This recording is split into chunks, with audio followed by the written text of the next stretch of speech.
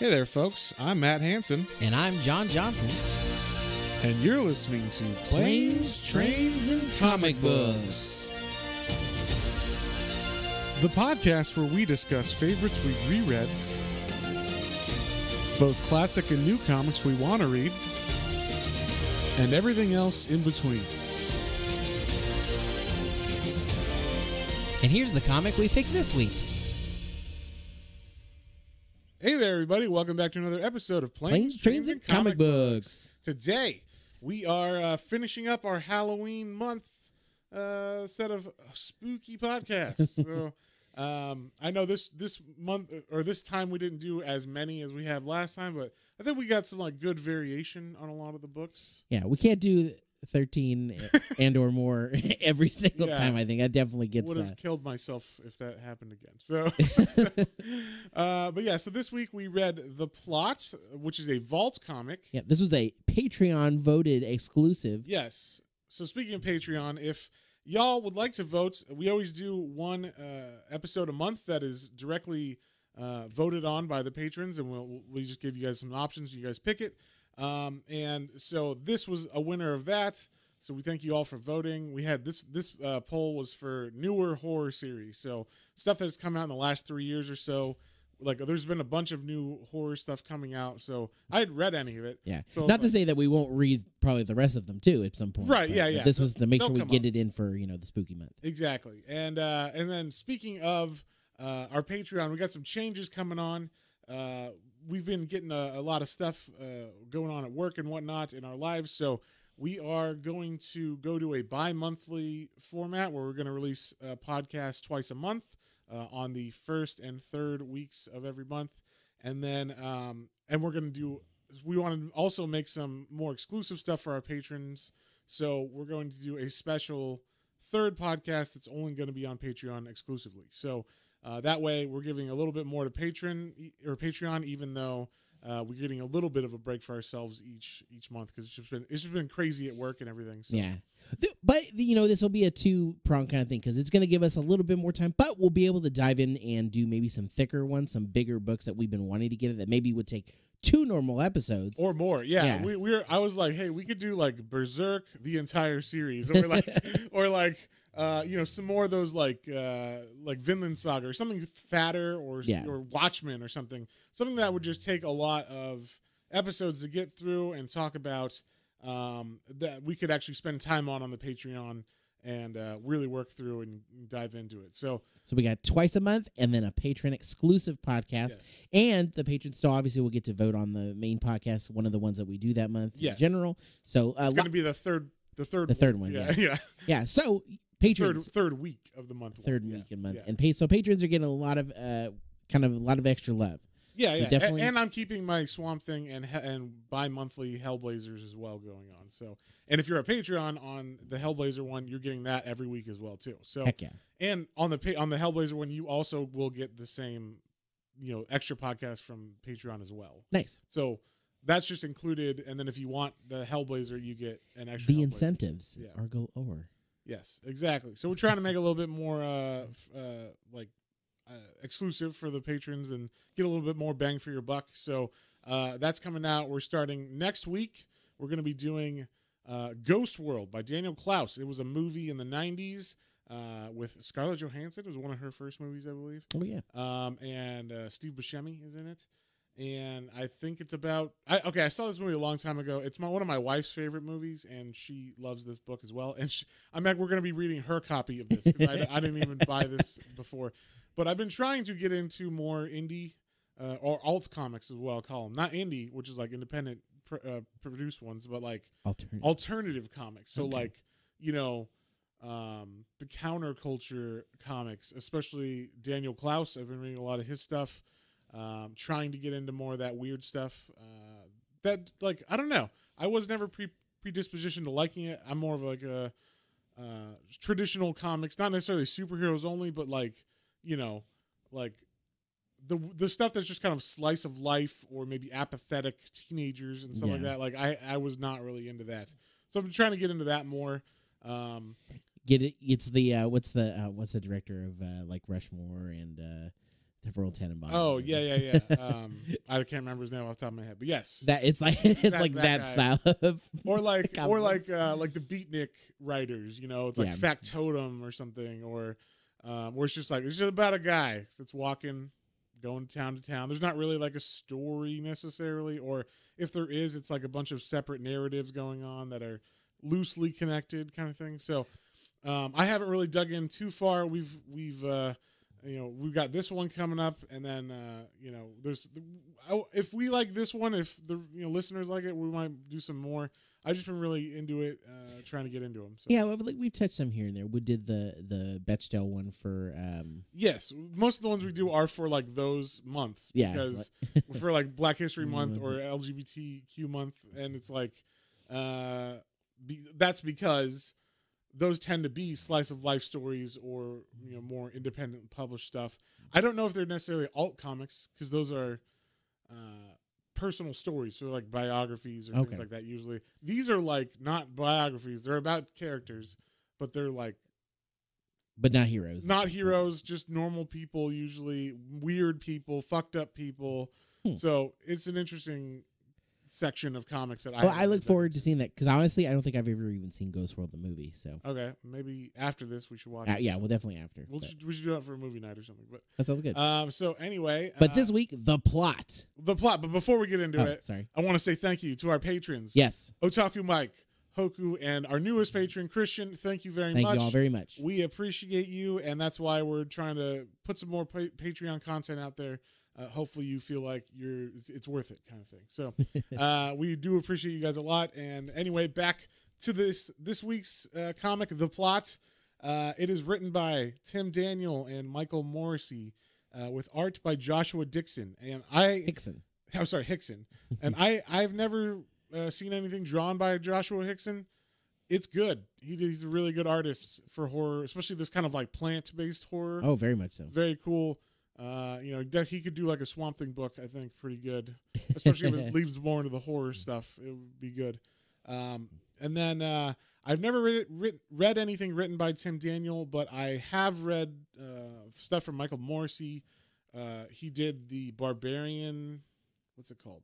No, it's, it's called. um what the heck is it called? It's about the barbarian. I think uh, I can't remember what it's called. It's it's about the barbarian with an axe that drinks blood, and talks. I did a I did a video on it, like a review of the first issue.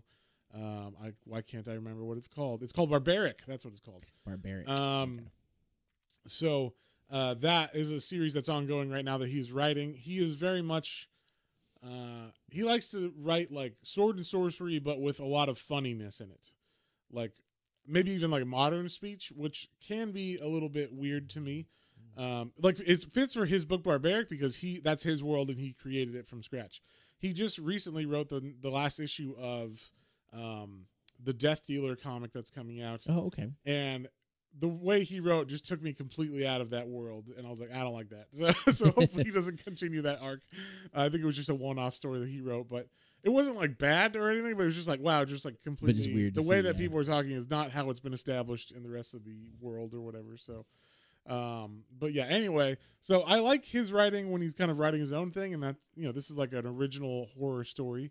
Um and uh it is i will say this uh this book is only this certain book that we're reading volume one is four issues long but the uh, series overall is only eight issues. I personally think they should have just released this as one big volume because it's not a, a hard read or anything I, I will say, yeah, the the first volume was not hard, and then it leaves you on a weird kind of a cliffhanger. I'll, we'll just kind of yeah we'll throw it. We don't have to we won't spoil the whole thing. yeah but it leaves on a weird cliffhanger, and I was like, okay, and I moved on with my day. You know, getting ready to you know we'll record with Matt later, and then I asked where Matt and I were discussing a little before, and he's like, I had to read the second one, right? 'Cause- yeah i was like well you can't just leave it there yeah, it's a weird spot. and it, like they were both on sale too because it's Halloween or whatever. So I'm like, okay, let me just pick these up, and so or let pick up the second one. And I read it. I'm like, why was this split into two volumes? It could have just been eight money volumes. man. I guess. know. yeah, I mean that's probably what it was, but still, like, I would be I would be pissed if I read that. eh, Like if I bought the first volume and I was like, really? Like there's no complete story in it. It just leaves you hanging. And Yeah. so uh, we'll get to that. But um, but yeah, so this this book starts off in 1974 in Cape Augusta, Maine, um, and you know there's like a creepy old house as a lot of these these places It's a have. Stephen King yeah, it's like a it's kind of Stephen King ish. Definitely deals with a family and stuff, but uh, but yeah, so there's uh, uh, this old house in Maine, uh, and this guy named uh, dang, what's his name? The Uh, guy. Chase. Chase. This guy named Chase uh, pulls up to it, and it's his old family home. He, he's moving in there. We're not exactly sure why yet, but uh, it's just him going there. And uh, The main thing we learn is that the family has a motto: "Give before you take." no, That's been give passed. before you receive. I'm saying, yeah, give before you see. Well, I thought it's a take two, but it's No, I think it's give before you receive because it's not like you're taking something. Some something is giving you something back. Yes. It's not. It's not like. Yeah, it's not like a take a penny, leave a penny kind of thing. So, uh, but yeah, there, there's this family motto uh, established with his family, and also when this when Chase gets into this house, you know, it's there's no electricity, I guess, or something, and he just kind of breaks into. He just kind of kicks the door in, and it's in the middle of the night, and he's drinking, and he's got like a sleeping bag, so it's kind of like, okay, what's this dude, what's this dude doing? And we see the narration over these panels is someone talking about how awesome uh, their father was. You know, like my dad was a great guy, and he gave me everything I needed to be the person I am now. And that's where we learned the motto where he says, he always said, you know, you have to give to receive and this kind of thing. And so uh, it turns out the person talking is Chase's brother, uh, Charles, I believe, right? That's his name. no. Charles is the dad. Oh, wait, um, who's the brother? I never remember people's. yeah, I don't. You know, honestly, I don't. I remember. I, I don't remember getting his name. I don't remember. Yeah, you're right. Charles is the dad because the dad has just died. Yeah, So his brother, we don't need to. We don't need to say his name. it's all, well. He's he's not even as as big and as important. As Right, yeah. But this his brother, uh, Chase's brother, who's giving the speech. So Chase is at their house because the dad just died. The brother's at the funeral or the uh, wake, I Wake guess maybe. Yeah. Uh, you know, giving a speech about his dad. Um, and we see like, oh, he's got uh, a wife and they have kids, and it seems like, and he he runs like a pharma- pharmaceutical company, so he seems pretty well off. Whereas Chase seems pretty uh, not like he's Hmm. drunk in, in an old house, you know. So we get a little bit about that. Um, and then I thought this was like a great way to like uh, get you into the comic immediately. First off, they start you with like, "Well, this is kind of weird and ominous. This this wake and this you know converse or the uh, the speech that the the other brother's giving." And then we go to the other brother's house, and he uh, this is after the wake. He uh, Uh, he lives in a nice. a house. nice beach house. Like overlooking the water, like hanging out over the water. Looks like Iron Man's house. Yeah, ex- exactly. uh, all glass and everything. So you know they're well off uh, because also he runs a pharmaceutical company, and you see him and his wife talking, um, and then they're like, "I think everything's gonna be just fine." Yeah. Well, you know, they're yeah, they're like, well, you know, we'll, the kids will need to like work on things, but, but and that's what we do learn the kids' names because they become important. Zach yeah, Zach and McKenzie. Mackenzie. Yeah. So, uh, so just as they're like, we think everything's gonna be just fine. They like kiss each other, and then all of a sudden, like a shadow appears, and the dad looks behind him, and there's this giant. We'll call him Swamp Thing in this uh, evil Swamp Thing. He's Well, we looking, can't say swamp thing. It's man, man of the swamp. Yeah, sw- uh, thing of the swamp. Thing of the swamp. Yeah, but uh, but yeah, so this thing of the swamp, uh, it, it appears right behind them, and then it grabs both of them and snaps the wife's neck, throws her out the window through the glass onto the beach, and then uh, pins the dad down and gives him a big old kiss. I didn't know when I saw that at first. I was like, "Is did this go like Looney Tunes right away? Yeah, like, what? like, mm, what?" Yeah, and then uh, and then he proceeds to throw the guy through the window after that. yeah, but and yeah, then he when he lands on the ground and like blood is coming out of his face, I was like, "Oh, okay, well maybe not." yeah, and then the brother like is able to say like the the wife's name last. Uh, her name was Wendy, I guess, and then they both die on the beach. Uh, well, I guess the guy's not fully dead, but then the the swamp thing comes out and jumps back down and then starts to smash his head into the sand and then whispers in the guy's ear, First you must give." uh, very creepily. Uh, and then uh, and then we cut back to Chase, who is I guess it must be the next day. yeah, You know, Chase is uh, doing some some demo on the house. call yeah, with a remodeling, remodeling. demoing- He's demo. remodeling this shitty house. and then he gets what like a telegram. I was like, Yeah, I think it's a telegram. I've never, I didn't know people. I guess it's 1974, so that's not Yeah. weird. Um, but yeah, a telegram uh, that says like, oh, your your brother's been killed and his wife, so now like you are the t- caretaker of his kids. And so then the next thing we see is Chase is uh, at the funeral of his brother and his sister-in-law, and he's talking about Charles. okay, so he was. It was Charles too. So I guess he was. Okay, Charles so it's. Charles the second. Yeah. Yes. Okay, So there you go. Um, I didn't pick up on that. yeah and then we and then so he's you know he's doing a nice eulogy about his brother um although it does seem like not that there was like a falling out between him and his brother but it was more like him and his family. Yeah, like chase has been the black sheep we'll say of the family because he's not doing the things that you want him or that they wanted him to do. I don't know what they wanted him to do. They never really go into what exactly he didn't want to do more than the family um kind of thing. I thought they were gonna like reveal some shit but they don't but they yeah, don't. he didn't know. And even in the second trade they Okay. don't so that's what i'm saying like uh, that's why i read the second trade too because it was like there's this mystery about this family and then it was like it doesn't- none of it gets answered like none of that gets answered so Hmm. i was like okay uh anyway you're just leaving these breadcrumbs that you're not gonna explain fully or pick up or whatever is all right we'll just This is for the birds. yeah we'll just leave those there and maybe we'll do a plot you know uh, number two or whatever the Unanswered questions. yeah the lot um so so Plot two: six feet deeper. Hey, There you go. Uh, so then we see, you know, this is where we meet the kids, Mackenzie and Zach, and we see that they're not transitioning well with their parents' death, of course. So the boy doesn't talk out loud anymore.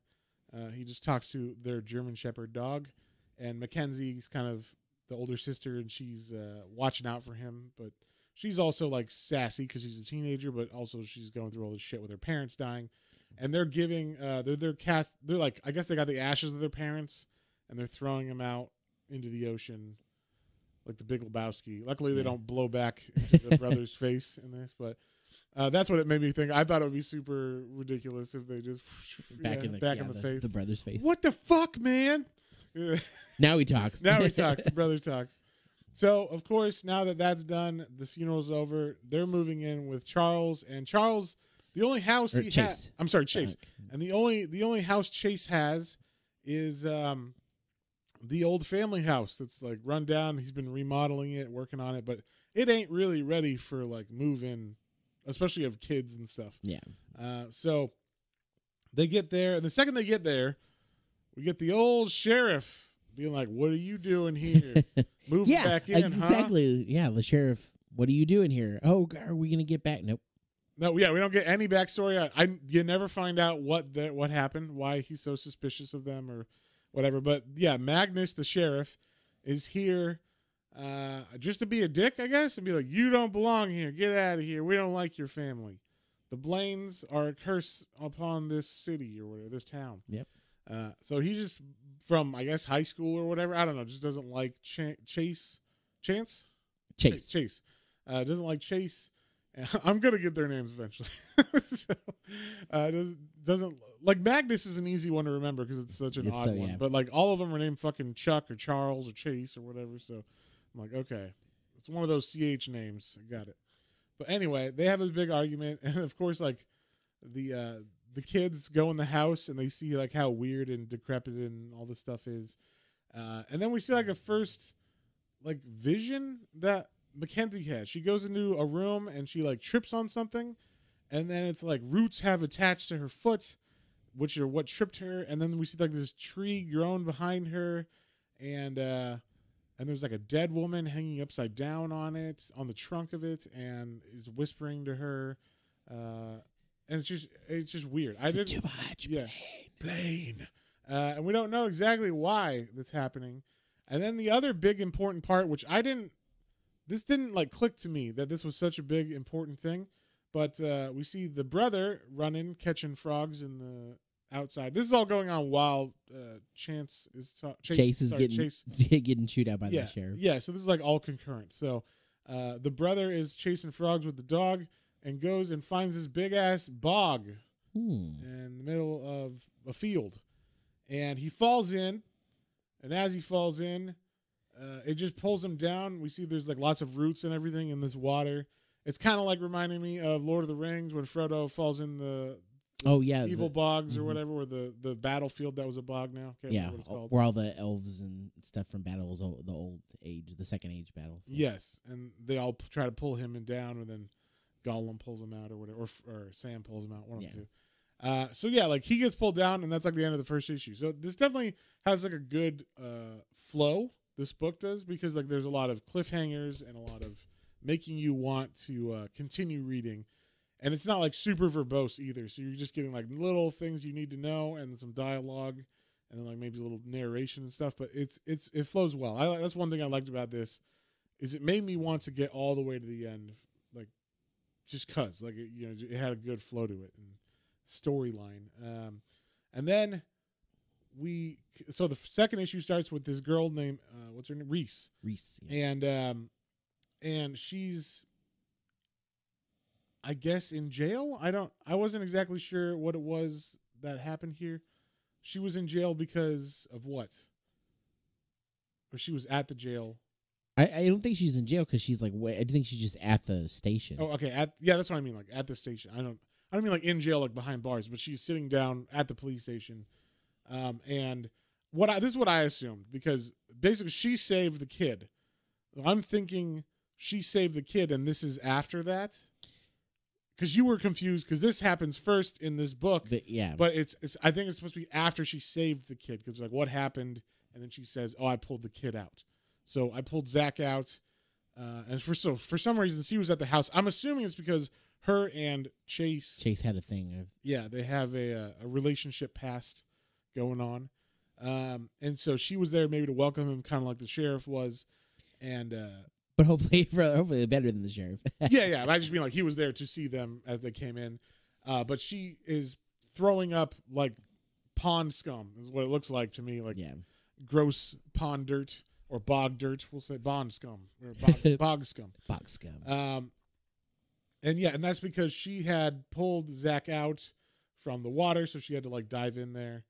Um, and the she's in okay. So after that, she goes to the hospital because she vomits all over the floor. The police are like, "We got to take you to the hospital." And then um, the Magnus, the sheriff, is like, "What was going on? Like, what happened there?" And basically, she doesn't tell him anything that matters. It was just like, "I saved the kid. He fell in the water." Like, and then the sheriff's like, "I I know there's more about that bog than there than that family's leading on to." So like he does mention, and I think you said this that um, the uh, the family seems to be really well off and do well, but the people around them don't. Yeah. people go missing. Stuff ends up happening to people that uh, they value but aren't part of the family. Yeah, they kind of there's like a line that says like the the Blaines the Blaines do well, but the people around them don't. The people that yeah they are close to don't. Yeah. So, uh, so yeah, we get the flashback uh, as she, I guess they're recounting what happened before she got to the police station and everything, where she saved the kid. Uh, Magnus ends up doing C- CPR on him because he was drowning. So And that I thought was interesting too because and that's I got a little confused because it shows like some kind of like bog like they were like hands on him down there and then the hand that reaches to pull him up is like boggish too and it's got like viney looking Yeah. things and then it shows a woman in all bog like, woman. bog woman dead- a green- bog yeah woman. green and browns and stuff standing there like I th- I thought she pulled him up maybe and then she you know maybe Reese came upon him but I, it was so it was it wasn't hundred percent what I got from that because there's a lot of double imagery in this book of uh, someone who is having a vision because there's a lot of like moments where someone is like when she falls when the roots take her shoe when Mackenzie's in the house for the first time she doesn't she might see the roots and the tree or whatever but no one else Well, is seeing does, that yeah. so I figured that's what this was is uh, it's actually Reese pulling him out but he's seeing uh, you know these bog, bog people you Okay. know bog lady or bog whatever uh, looking at him uh, you know, and the, and what the bog lady says to him is point. She points at him and goes, "Blaine blood," and so that's just his last name because he's Blaine, you know, related. So there obviously there's something going on with the Blaine family blood being that part of that bloodline and this house. Hmm. Uh, we're not Mm. sure exactly what yet. Um, and I still don't know after reading the full book. but, but, yeah, so the sheriff ends up saving uh, Zach, and uh, so that's nice that he did that, even though he's a dick to Chase. But um, but yeah, like, and then the sheriff says like, I don't think you should be allowed to watch these kids, basically, like, Yeah, but I, I have the authority to take them away if I have to. yeah, and I will. So I we're giving him like a southern accent just because they're in Maine, so he's probably like, I the authority to kid to take those kids, eh? Whatever, eh, whatever they say. Whatever main accent I'm trying to I'm trying to channel channel my uh whatever like Derry Maine from from from Stephen King Stephen King. novels. Like what do they what do they sound like in those audiobooks or TV shows?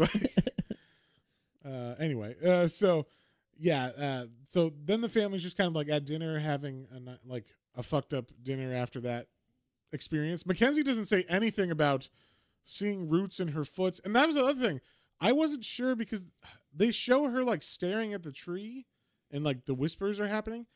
But I don't know if she saw it or not because she doesn't mention like, "Hey, by the way, I saw a weird spectral tree in this house." I would be fucking terrified Yeah. seeing a dead woman body upside down on a creepy fucking tree just out of nowhere in, ghost in the room. Yeah, yeah. Uh, but she's not phased by it at all, apparently, or at least maybe she didn't see it. Maybe it hasn't quite got to her. I was wondering, like, maybe is she like the actual daughter of Blaine of Ch- of uh, Charles Blaine, or was it maybe she's adopted or something? She's a little bit older. I didn't know. I wasn't sure. Um, but they do. Um, but like, yeah, she doesn't mention any of it. And Reese is also there eating with them now that I guess she's out of the hospital, kind of thing. She's Uh, better. She's better. they don't really explain like how she, why she's back here, but I guess she just wanted to go check on the kids. So that's where we find out that like her and uh, Chase had like a bit of a relationship, but that Chase uh, kind of ran away from home and left her high and dry. Um, we don't know why. I still don't know why. Yeah. exactly. They had a relationship. It didn't end well. Yeah. Uh, and then we and then we get like the Chase trying to be the dad, like fill in for the dad and get like lunches ready for the the school day and then for the next week. You know, because it is the next week now. So like before school starts, he's getting all the kids ready, taking them to school. And like one thing I did like about this that is creepy, that's like that's why I was thinking like maybe they're not always seeing these ghosts and Yeah. stuff. But like as he's cutting the sandwich, we see back behind him in the pantry that he was just in getting bread and stuff. That there's a there's like a dead guy just hanging out in the pantry. Like, all right, but like he's not he's not paying any attention to him, and the ghost or the yeah the ghost is or the specter isn't like uh saying anything to him either. So I That's don't know true. if he would have seen him if he turned around or if it's just kind of we're here. Yeah, is it? Yeah, are they watching them and they're there, or Yeah, yeah? Because the, the yeah the one the one that it was very creepy too is the boy's brushing his teeth and he like looks down in the uh he spits in the sink and then as he spits down like in behind him is a you know it kind of almost looks like the bog lady again like just standing there creepily. Yeah, I didn't know if that was a bog lady or if it was like a kid version, like a or a kid that was haunting this place too, or whatever. Because there's multiple ghosts. There's like a man ghost, and all Oh, of yeah. them seem to be part of the Blaine family, though. Probably A lot of them do. So, because uh, later on, there's uh, his- Char- like the Charles. Charles, in, yeah, the, yeah, the one that just the brother, yeah. So or their their father. father, So, yeah. yeah. Um, and so yeah, the you know they're getting ready for school. Uh, of course, Reese is the teacher at this school. Just Yep. like, they just really like What a coincidence! yeah, a coincidence. um, and then like Reese or uh, uh, Mackenzie is seeing like while she's in class, there's like the classic Michael Myers moment uh, when Laurie Strode is in class and he, she looks out the window and sees Michael Myers just standing across the street. Uh, that happens here, except with like a bog monster ghost or whatever, and uh, or bog woman ghost. So Mackenzie sees this woman. Actually, does she see her? Or does she just? I don't think she sees her. She doesn't turn, but the bog woman is just in the window. So Staring. I think all of these are for us, like for the audience, yeah, like these little flashes of ghosts, because the characters are not seeing them or referencing them at all. But I think that's just for us to be like, oh shit, stuff's going on, and they don't realize it, you know, uh, which is kind of clever. I haven't read too many books like that where it's just for us, the reader, that we're getting this ominous ghost happenings that we're seeing, but no one else is seeing a lot of it. Um, so, and then like the big, the next big thing that happens uh, is, is Chase. You know, he's still remodeling stuff in the house, so he's got all his tools, and he notices by the water heater there's like a, a, a cement wall that's not original to the house, and he's like, "What the heck?" yeah, because it's like kind of like interlaid in a brick wall. Yeah, and uh, and he notices a crack on it, and it's leaking water, and he's like, "Great." Like the water heater pipes go through here. Maybe there's a water heater leak. I gotta like figure it out. So he's gonna bust open this wall, and as he does, uh, he finds a bunch of bricks and vines and everything inside of it. And then he pulls one of the bricks, and all this water falls out, and it's gross, gross bog water. And uh, he finds a dead body that also falls out, and it's like, what the hell? So of course, you know, that's ominous. That's the end of issue two. So we Yeah. leave it. And, and see, and, and then that was one like, did he see that dead body or that was a dead body. Yeah. Yes. So that was for sure because he sees it. He's like, what the fuck? what the fuck? Yeah, okay. And then issue three, the sheriff is there being like, so that body was a hobo or like a homeless person that's uh, I guess worked at the house or something, or I don't know. I don't know exactly what it was, but uh, right, that's what it was, right? The he worked at the house. oh, I, I okay, maybe I missed that. Maybe it wasn't. I don't know. I thought I thought this was uh, we're so it starts off with um with like we see through the ages. So it's like 1891, 1942, 1963 at the Blaine house. There's all these weird deaths that are happening. Yeah, Um, and then now in 1974, that's they find this body. yeah, this body. So that's why the sheriff has seen or noticed all these people dying around the Blaines in mysterious ways, and he knows something's going to happen. Um, and so uh, I believe this is a helmless man that they find, but I could be wrong. I, I can't remember. I don't think he was tied to anything important. Yeah, they just they definitely said they it, it's weird because he also doesn't know where he came from.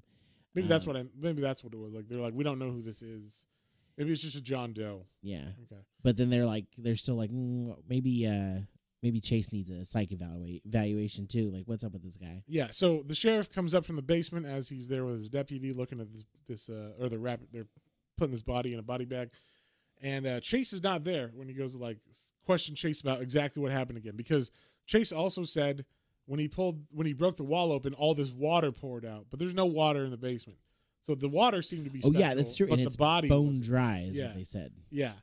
So uh, that water, the bog water, was all on his head, but the actual body was not. So, um, so when he, uh, the sheriff Magnus goes up to ask uh, Chase about his story again, Chase is gone. He's already at a bar drinking. Apparently, that's his old ways. He gets in a fight, uh, just to, I guess, get some of his anger and aggression out and whatever he's feeling about all this. Uh, so he gets the shit beat out of him by like five guys. Uh, and he just leaves the kids at the house with Reese, which if I was Reese, I'd be like, what the fuck? But, you know, These ain't my kids, yeah. But Reese is nice enough to at least stay, I guess. So you know they they are children. yeah. So I don't know exactly how old um, Mackenzie is. She, she's like, she's like But 14 or 15 yeah, or something. like, definitely, obviously not not quite old enough where she feels comfortable with, it, especially because they still just lost their parents not that long ago. Yeah. And uh, and so they're all sitting on a, on a couch at night, uh, and like I said, Chase hasn't even come back yet. He's getting the shit beat out of him right now, uh, and they're asleep on this couch, but it faces a window.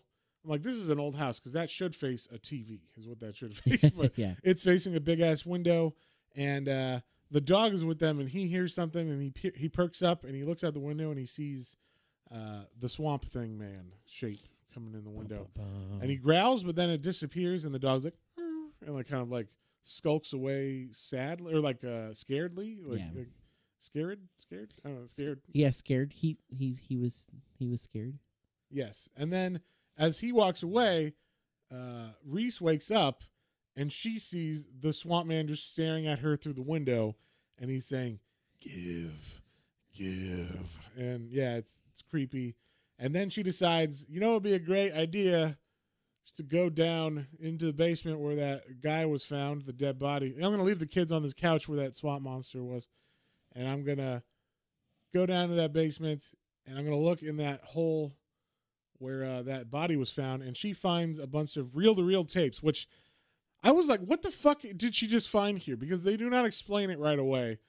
It takes a couple pages. Yeah, that's true. Because I they're didn't just round. Discs. I didn't know what they were at first either. I was like, are they old dinner plates or? Yeah, they- I was like, "Are these like you know shot? Uh, sh- what are those like oh, shooting?" the shooting plates? disc. Yeah. Yeah, Pull! pull. Yeah. like I don't understand what these are because they look kind of like targets or something, but they are like reel-to-reel tapes. So you know, this is the '70s, so that wasn't that uncommon.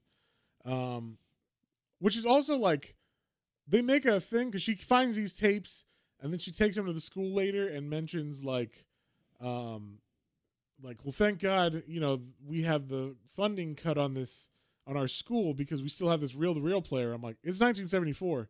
You Yeah, would have a real one, reel to yeah. player because what else are you gonna have? You don't what, an eight track player or you're not gonna have a CD player. You know, maybe a record player. I don't fucking Yeah. know what you would have, but they don't have like if you're playing like a historical document or something that's on uh, recordings, it's gonna It's be on a reel to reel back then. Yeah. So I thought that was it'd be like if you said like oh a projector. I'm glad we have a projector. It's like well that's the only thing we were able, like a film projector camera. Like that's the only thing we were allowed to use back then because that's all they had. They didn't have digital cameras. So uh, I thought that was a weird line. That's that's the kind of thing I'm saying. Like I don't know who wrote that line, but uh, when uh, Moreci, whatever, or was it Michael Moreci writes books, sometimes it seems like he throws in common sensibilities that aren't necessarily uh, fitting of the time period and whatnot or the place. Um, so anyway, uh, that's a little bit later where they do, you look at the or they listen to the recordings. But uh, first, Chase is brought back to his house uh, by the sheriff, and of course, the sheriff reminds him again, "I will take your fucking kids away because you're a horrible person. We don't like you. Chase, you fucking suck." And I'm I'm gunning for you. I'm looking for you. Mm. Um, we also see as Chase walks back into the house, uh, he looks up and at a window, and I don't know if he sees this, but there is a ghost in that window as he. It's like he looks up at the window, then he looks back down, then the ghost appears for us in the window. It's like a Yeah, so we don't thing. know if he saw it or not. Yeah, I, it's a weird thing. Um, and then uh, we get. Zach is at school the next day. Oh yeah, this is the And- next day. Okay, yeah, Yeah, and he has to. He looks like he has to use the restroom. The teacher's like, "It's down the hall. Go." yeah. Reese is the teacher too, so she's like, yeah, to go go, go to. Here's your hall pass or whatever. And so he goes to the bathroom, and as he's walking into the stall, he hears something splashing in the toilet. He looks down, he finds a frog, and he's like, I'm gonna grab this frog for some fucking reason. Don't grab toilet frogs, all right? Yeah. Then as he's about to grab that, a bunch more frogs start coming out of the drain, and it freaks him out because also a hand reaches out from the This is definitely one of my favorite panels in the yeah, whole comic. a hand comes out of the toilet drain uh, amongst the frogs and reaches out to him. And then we see as he runs out, there was like another ghostly person standing behind the door that he opens to leave. Uh, and yeah, he's just freaked out. So it was a very Evil Dead esque moment. It felt like. yes, yeah, that's true. It does because it's a toilet and stuff. It's a little, Yeah. it's a little comedy in there, it, or it could be. It also is terrifying for some people because the idea of like I'm sitting down Sitting and down, yeah. ah, grab my ass or whatever. but uh, but then uh, Chase, he's he's still at his house. He doesn't know this is going on with Zach, uh, and he's sleeping his uh, hangover slash uh, beating off right now. yeah. And uh, he wakes up in a fright, and he sees. I don't. I'm assuming this was the brother Charles, right? Is it the brother? Or the, I'm not sure if it's the dad or the sure. brother because he says "Ch- Charles, and I think it's the brother because he's dressed like the brother was that night. Oh yeah, maybe that that makes more sense. and he's got the mustache. We don't know what the dad looked like, so I'm assuming this so is the probably brother his brother. Charles. Yeah. And he's all covered in bog water, and he looks all rotten, like he's been sitting in water for a long time. And he's it looks like he's trying to say something to Chase, and Chase is, is like, Charles, what's what's going on? What happened? And uh, Charles goes over to him, like grabs his shoulder, and he's just like, and he's like, I don't understand. And uh, and then he like dissolves in his hands, and Yeah. then turns into like floods the whole floor with water. But of course, that water's not real. And then it turns out Chase was just dreaming that. Or was he? Because his hands are covered Yeah, in like pond slime, and then there is a little bit of water on the ground. Bum, So, bum, bum. uh, and then he gets a phone call and finds out, okay, Zach had this thing happen to him at school where he got scared in the bathroom. He peed his pants, uh, and then, um, then then Reese says, or actually Mackenzie calls out Reese because Reese is like, "Don't worry, I'm here for you. You know, I wouldn't let anything happen to Zach or Re- or uh, Mackenzie." And then Mackenzie's like, "Oh yeah, then how come you were down?" yeah. Why'd you leave us on the couch the other night and then you went downstairs? Yeah, because she Uh. followed. It turns out she followed Reese down there and saw Reese find these tapes, and then or these reel to reels, and then uh, and then keep them and not tell uh, Ch- Chase about them. So uh, Mackenzie calls her out, and Reese is like, "Well, okay, about that. Like, I'm not hiding anything from you. I just I just got him and didn't really know what to do with them, and I figured I got a reel to reel here." So like, we'll listen to these tapes together then. And I was gonna Yeah. let you know before I did that. but- I I did like Chase is like I need to listen to these right now. right now. and I was like, don't do it. I, I was worried it was gonna be like I didn't know where this story was gonna go. I'm like, Yeah. is this gonna be like Necronomicon? Oh yeah, or some shit? Like you know, Nicto Verata, Klepto Verata Nictu or whatever. It's like, oh, don't don't say it. Don't say the read from the Book of the Dead. Uh, but yeah, that's not what it was. Uh, I what it is is it's like, um, I guess it's the dad, or I'm, I'm assuming it's the dad, um, talking about like the family curse. But the but talking about the family curse and saying it's coming for him, or is it the grandfather? Is it the grandfather? I think it's the grandfather. Okay, yeah. it's the grandfather um, saying, uh, like, the curse is coming for me. I tried to avoid it, but it's coming for sure. I'm so sorry. I don't want to do this. And this is what happened. I don't know why he would record this. This is like a confession to murder, but he buries it in the wall with the guy that he murdered. It's so for his family to find. I don't know. with the dead body, With the dead body, That's nice of him.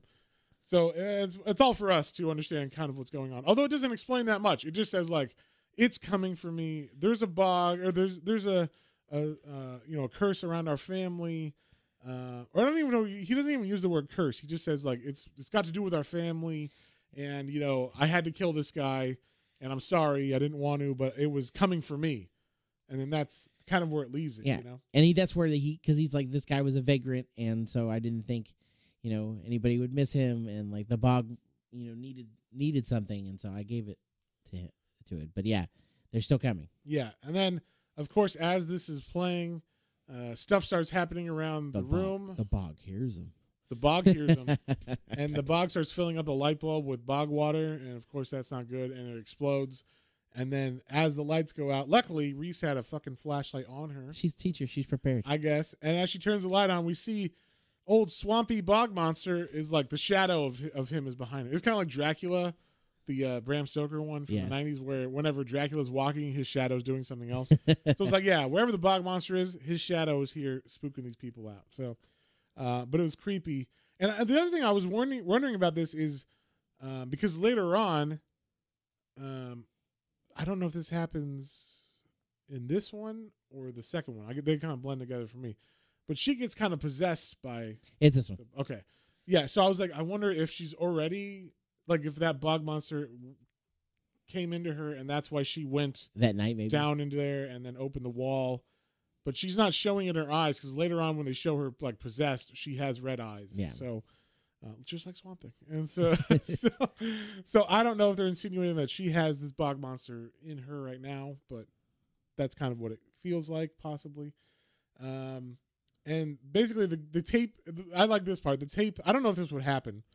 The tape when it's done is just on and repeating the word give, give, give, give. So it seems like the bog is asking them to give something so they can receive whatever the bog has to give them. Po- now we're water. saying the bog, yeah, we're saying the bog, but it doesn't say that. We're insinuating because of what I know happens later that it's the bog. Well, no, no. The the grandfather did say that the the the bog requires something. So from Right, but it doesn't. To me, a bog is a place, right? It's not like a. It's it's not a demon. I'm thinking the bog is the home of a demon or something. So, possible, I I could think of like I could think of a place as like being like, you know, uh taken over by like a spirit or right, but I don't know why. I just didn't feel like that in this to me. okay, I took I got that. Well, it could be taken over by spirit, but that spirit is the thing, not the bog. You know what I'm saying? Like this makes it seem like, like later on, the bog itself is the thing. Is the- yeah. Like, there's no mention of like another higher deity or lower deity or like a demon or something. Uh, that is the reason for this. It just the bog calls. the bog itself. the bog itself calls, and if you give, you will receive. So, um, yeah, that's kind of like where it leaves you hanging on the third issue there.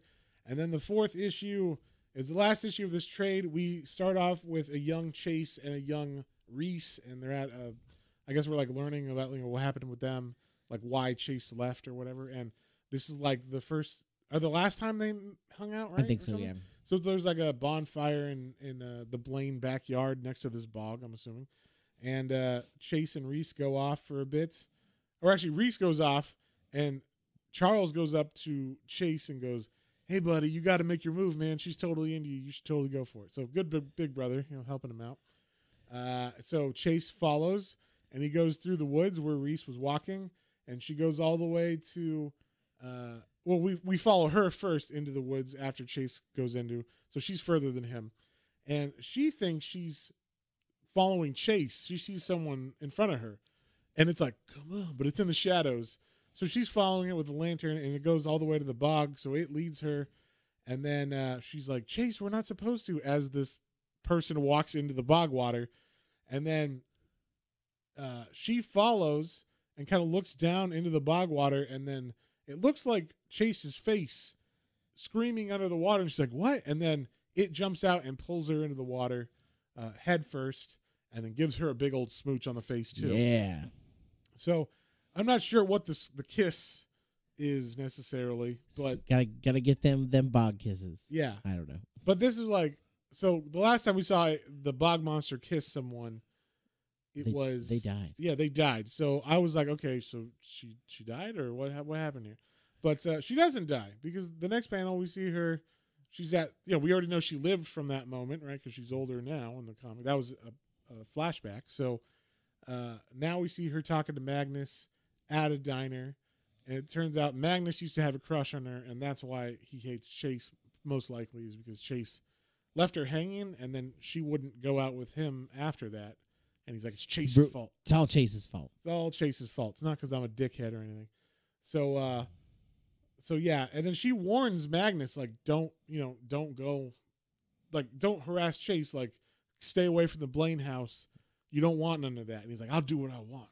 You know, just because you love him doesn't mean I won't. You know, kick his ass or whatever. Well, she says that like yeah, like things are different with them, but like they uh they didn't find her until the next day, and it was Charles that found her, but everybody blamed Chase for it, Yeah, like, but like doing something to her. But the interesting thing is, we don't know. Like, okay, so she fell in the water but didn't drown. Like, what the fuck? Like, I, I don't. They don't explain. Nope. So what happened? It, they you know it- what? Maybe under kiss. the water, she it wasn't a kiss. It was breathing air into her lungs. Oh, there you go. It was saving her. Yeah, exactly. It was like, "What are you doing down here? It's Yeah. too you're you're gonna drown here." Yeah. And then we see in the window next to her, the bog monster is looking at her like, The, maybe this is about the bog monster trying to find love with the Blaine family. "That's what it is." It's just like, hey, if you give me love, you will receive love. And they're like, oh, you want a dead body? And he's like, no, I want your love. Yeah. I don't know. I don't know what it is, exactly is. But we cut to Chase. Uh, we cut away from the diner and we cut to Chase, who is visiting his mother, which we didn't know was alive yet, but she is still alive. Uh, she is at like an old folks' home, and apparently she had like a stroke or something, or whatever happened to the dad Messed her up. fucked her up. Whatever she saw, and so she has not talked. Kind of like Zach hadn't talked really. Um, once he, once you know the parents died, uh, or his dad, his parents died at the beginning of this book. Um, the mom hasn't talked at all. She's like kind of in shell shock. But all of a sudden, I guess he got maybe got a call from the old folks home because she's been talking now, and she's been drawing something. And then what we find out is she's been drawing as Chase goes up and kind of tries to talk to her. Um, that she's saying like, "I'm sorry, I'm sorry, I didn't the past," and she's just kind of like being in like a manic state. But she's drawing the attic door, and then uh, as Chase looks at it, at the drawing, he goes like, "Oh, the attic," and she's like, "Don't go in the attic," and she like freaks out at him. And uh, he's like, "What are you doing to her?" Like it seemed like he was blaming the old folks' home. Like, like what's going on? Like what? Why is she freaking the fuck out? And doesn't understand that this is like something to do with the house and the curse and whatever the fuck's going. Like the stuff that happens in here, I'm like, you would think you'd tie it to what's going on, all the other shit that's been happening the last three issues, but uh, that is not the case. He doesn't tie it there real quick. Uh, so then we cut to um, the sheriff Magnus, and he's talking about the body that they found at the house with his um, with his deputy. And it turns out because he's like, "Hey, we did that. We got the results back from the the test of the ground because um, Chase had said it was wet, you know, filled with water. We tested the ground. Nothing there except it had levels of like acidity and like pickling juice, basically. Like it like it pickled this body, um, and and whatever it was also spilled on the ground, but it's not there. It wasn't water or whatever. So it seems like I don't know something weird's happened, uh, and it's like it's almost like the bog pickled this guy and like preserved his body over time. Um, and so uh, I don't remember if they say why. Uh, oh, I know what it is. He goes there because he needs to test the water in the bog to see, like, oh, maybe because because he's like, wait, the house is far away from the bog, so this body being there doesn't make any sense unless it was, was- brought there by Chase, Yep. and then Chase said, oh, there was water everywhere, and I broke open this wall, but he's full of shit. So the sheriff is like, I got him now. Like, if there's something going on, if I test the bog water, it will tell me, you know, that Chase is full of shit, and then uh, I'll catch him. So he goes there in the middle of the night. You know, as you do, he's gonna go on private property in the middle of the night, not with a warrant. It's fine. It's I, fine, you know. But hey, you sometimes you just got to do what you got to do, right? That's Yeah. what police do. In the meantime, we see the kids are, or at least Zach is scared. He's sleeping with Chase. Mackenzie comes in, decides to sleep with them too, uh, and then um, all of a sudden they realize their dog is not with them, and like, what? Where's the dog? What's the dog's Where'd name, that John? dog- Tage. I, I didn't get the dog. Tag? Tag. It's T A G E, and I was like, "Who the fuck is Tag?" Because like, where's Tag? I'm like, or Tage. I don't know what the Tage? fuck it is. It's the weirdest dog name I've ever heard. So I don't know. Ruffy. Advantage is what it's. I don't know. Uh, but yeah. So anyway, then we cut to the outside where it's pouring rain, of course, and uh, this is apparently the beginning of like the biggest fucking storm of all time. They don't say that on the radio or anything. No one knows about it until the second volume, which you didn't read, but I did. This storm continues like pouring like Noah levels of rain, fills up all the ground for to like five feet. So like the Oh, bottom wow. floor of the house is covered with water later on. But we don't know that yet because they have not said that. So uh, it is just a very bad night to be out in the in the wilderness or not in the wilderness, but at a bog. I'm sure this bog is about to overflow too, by the way. But uh, the the sheriff is there and he's about to test some water, get some soil samples, whatnot. Uh, and as he's doing that, he thinks, uh, or he hears someone behind him, and then he thinks it's going to be Chase, and he's like, "Listen, I." And then he looks up, and he gets stabbed in the chest by this person with like a some sort of hook thing. I don't know what the fuck it was. Yeah, he. I don't know. It was something he brought with him, some kind of hook. Yeah, and we see who it is is actually Reese. Reese pushes him into the bog, and she's got possessed. Oh, this time it's green eyes, and the other one in the second volume is That's right. red eyes. So I don't know what the I don't know what the difference of the eye color means, but either way, uh, she tried to warn him. yeah, she says in a so it's got the voice of the bog. Whenever the bog talks, it's in like black, um, uh, talking bubbles, and so her voice is now in these talk, these black talking bubbles, and it says, "I tried to warn you, give." And then she pushes the sheriff into the bog, and then all these hands come out, all these decrepit, dead hands come out and grab him and pull him down into the bog. And then the swamp monster comes out and kisses him. Yep, just like he just like he tends to do, or maybe he's oh he's not giving him air this time. No. And so uh, then all of a sudden she snaps out of it and is like, Magnus? And then she like lets go. And of course the dog is there now for some reason. We don't know why, but the dog followed them. And then uh and then she like snaps to, but she's not fully snapped to. It's like she's in shock now or something. Because her eyes don't have the green possession tint on them now, but she's just wide eyed now, saying, Magnus, I I tried. And you know, she's very like in shock about what just happened. And Yeah. whatever. I assume she tried to fight it, is what she was saying. But Yeah. Uh, and then, of course, uh, Chase, who's been looking for the dog in the house, hears the dog whining outside, opens the door. Uh, the dog runs in like, "Give me the fuck in this house!" Don't go out there. Yeah. Shit's happening. It's crazy. yeah, and then all of a sudden, uh, Chase, as he lets the dog in, starts hearing a thumping noise, and it turns out it's the attic door, and so he's like, "Oh, I got to go up there and see what's going on," uh, because you know, what if it's a leak or something? It says thump. I don't know if it's a if he I- thinks it's like a leak, like a drip, or if it's like what would be thumping up there? A raccoon or some shit? I don't know. Well, he's like, it's. He says it's trying to lure me.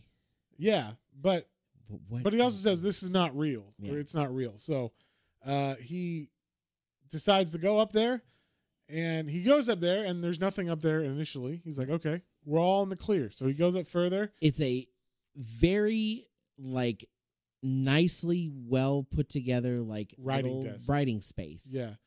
And there is a manuscript on top that says the account of life and death in the New World by, uh, or as told by Victus Blaine. So this is the initial Blaine founder. And we don't know what that was or who, who that guy was, but it's like the great, great, great, great granddad of Yeah. the Blaines. And he is, I'll just spoil it, he is the one that started this curse uh, or this deal with the devil or whatever the fuck it is.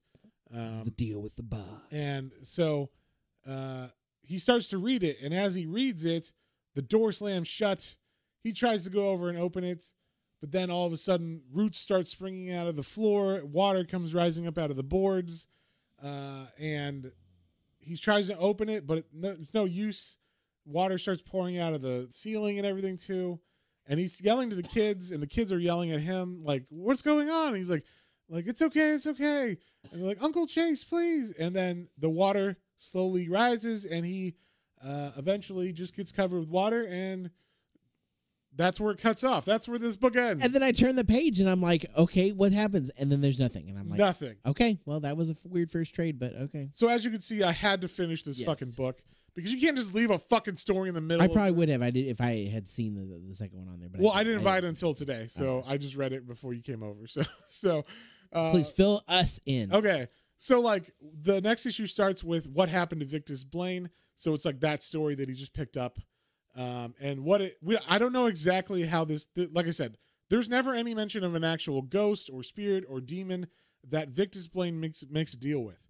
But basically, he lives in a town in Maine and it's not going well. It is the 1600s and, you know, the f- crops aren't growing, nothing's going good so he's kind of losing his faith uh, in God, and you know that's obviously in the town that's very religious and everything, and uh, and so for some reason he gets called to the bog one night by something because he's praying just out loud, not necessarily to God, maybe just saying like, "I need something, something, or whatever," and then yeah, Okay. and then something, the bog calls to him and tells him like come forth, and then that's where he learns the phrase, or like the bog tells him like if you give you will receive. And the give is he's got to make a sacrifice into the bog and the, and then prosperity will happen to him. Makes so, sense. um yeah of course as you do. And so he sacrifices the lover or the uh, suitor the guy who's trying to woo his daughter um and so yeah that's basically you know and then she Potential finds, son-in-law. Mm, yeah, let's kill him. it's not a son-in-law because they're not married yet but it's like she's you know Potential. pretend that's why I said it's her suitor or whatever. Yeah. It's the guy. It's the guy who's trying to uh, what do they call it? See Anne or or see, see like in, in the Patriot where he's like, I'd like to call on your daughter or whatever. It's like that. Uh, and so um, he like kills that guy because he's like fuck that guy. Like, like he's trying to he's trying to get with my daughter. Like fuck that guy. So uh, he throws that guy in the bog, and that's the beginning of this curse. So uh, what I gather just from like and, that, and they don't explain the curse. There's no like now it is sealed and forevermore my relatives will will give you a person every year or whatever and if not then we will be taken. Oh, there's no- none of yeah, that. there's no like at explanation of any of that shit. Oh wow. Uh, so that's why I'm like we're just assuming the curse is because the dad or the grandpa says when he seals that dude up in the wall, uh, you know, it's coming for me. So obviously, if I kill this guy, it will placate whatever's coming for him. So that's what I get from it. They don't explain that at all.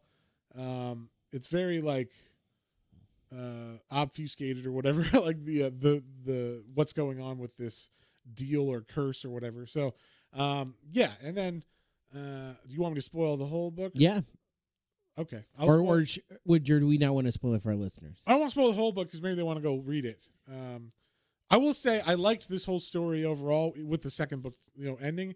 There just was a little bit of, uh, there was a lot of, we're leaving, we're dropping like clues and breadcrumbs of these things, but we're not fully answering your questions. We're, and there is no like full closure on exactly what happened with the bog and Hmm. like why or like what exactly happens. I wasn't exactly sure how they defeat it either.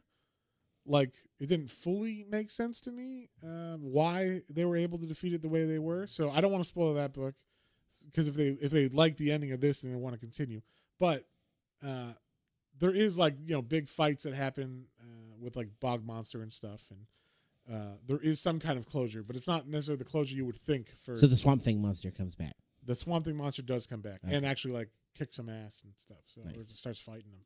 So, um, and I'm assuming maybe that's the curse. You know, maybe that that monster is like it's gonna come if you don't give, it will, it will take. You know, it will it will get its its price by with this monster. Uh, so maybe that's why he killed Charles because Charles wasn't giving. Uh, in the way that he wanted, you know, Charles was trying to help humanity with his pharmaceutical company, as you know, all pharmaceutical company owners do. He he was a yeah he was a people first. Oh, of course, yeah.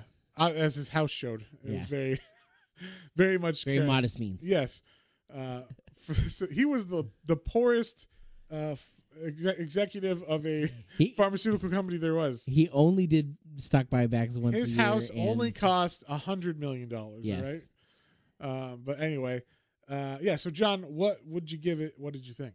So um, I'll give my rating a caveat and an asterisk for this one. I will, uh, being that I know a little more of the story, um, and I'll get to know all the story, obviously, and um, Well, I would say I would say maybe rate this one volume like like say the one, what you would have rated it. Oh, okay. yeah, that's what I'm saying. So mine is gonna get that that star on it, the asterisk. Um, I would give this one a six. So I enjoyed it, and I liked where it was going, and I liked the art a lot. I liked the designs of the monster and all of the creepy stuff in it was very cool. I liked all of that. Um, but yeah, it just fell a little flat for me as far as like a where it ends, and then b like like you said, kind of like hinting at things, but then like like you, I didn't get anything in this first. Yeah, What, like, like, what's going get, like, on? No idea. It was all atmosphere and like Even yeah, and then I'm like, okay, like that one, the the one issue we start to get a little backstory, and I'm like, oh, good. Now, we- nope, nothing. yeah, it cuts away before you. Okay, anything. well, all right then. So um, so yeah, I'm gonna give it a six. Uh, but again, that it, that's the asterisk because, like I said, I know obviously there's a little more to it, and then there's there are some cooler things that happen. Um, but yeah, I just didn't like it was fun and I enjoyed it, and I definitely like would like to continue reading, but it just didn't. Uh, it didn't quite give enough that that a I think a first trade should to get you to like, keep reading the story. yeah, I feel like this should have been Just both trades together in all eight issues. At least to make it like because what they could do is if they did that, then trade one is this story arc, and you want to know what the fuck is exactly going on, and then they could just do an ongoing and f- you know give you more of that backstory that you want. There's a couple series that are doing that a little bit better. Silver Coin, Mhm. each issue is a standalone story, but it all ties together with this silver coin, coin, that yeah. is cursed. And then every six issue or every every six if sixth sixth issue, uh, he will um, give you the like origin of the coin through time or whatever. So it explains the lore, and so so it ties all these stories together well. Oh, nice. I really like that. So it's very like this isn't an ongoing. This is just the trade, the one story. So it's kind of like, what the fuck? And maybe they could do like a season two or whatever of it and explain more, but it definitely leaves you like me. Left me unsatisfied with like w- the answers we got of which there wasn't any. I didn't think. Uh, it was very very little of like I'm I'm inferring a lot of this mythology myself, just from what you're showing, but they did not explain anything explicitly like I said, there there's literally a written manuscript, and the guy could have been like, and so I sold my soul to the bog monster, and you know I didn't quite understand it. Even that, like maybe he didn't understand it either, but he's like, it called to me, it said give and and it will receive, so I did it and I received. So this is what's going on, and and I and and then uh like maybe one year you you have a or one of the issues you have a flashback of a year that he was like I don't want to kill anybody, and then it shows like oh it's gonna fucking murder me, but so I have to do it kind of thing, something like that where it's, it's more explicitly spelled out.